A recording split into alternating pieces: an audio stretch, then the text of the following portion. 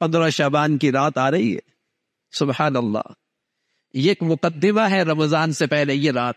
इनफरादी इबादत, इनफरादी तहजद इनफरादी दुआएँ, कबूलियत की खड़ियाँ, अल्लाह से मांगना, औरतें घरों में बैठकर मुसल्ले बिछाकर, अल्लाह से अपनी ज़िंदगी के फैसले करवाए। हम मस्जिदों में अपने घरों में बैठकर नवाफिल से कसरत से इबादत करें। हाँ इस रात में अल्लाह के नबी ने कोई इज्तमाही इबादत नहीं की। इज्तमाही नफल नहीं पढ़े, कोई मखसूस सूरतें नहीं पढ़ी। लेकिन आप वसलाम की कई सारी अहादीस मौजूद हैं। जिन सारी अहादीस को इकट्ठा किया जाए तो ये नुक्ता मिलता है कि ये रात इनफरादी इबादत की, खूब इबादत की, ताकि मुसलमान रमज़ान से पहले तैयारी कर ले।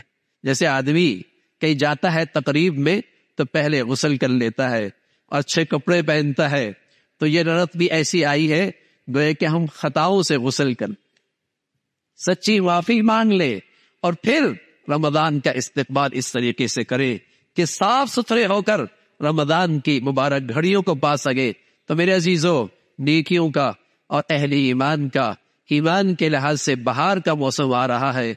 अल्लाह रब्बुल इज़्ज़त हम सबको इसके कदरदानी नसीब फरमाए। आखिर दावाना अलहमदिल्ला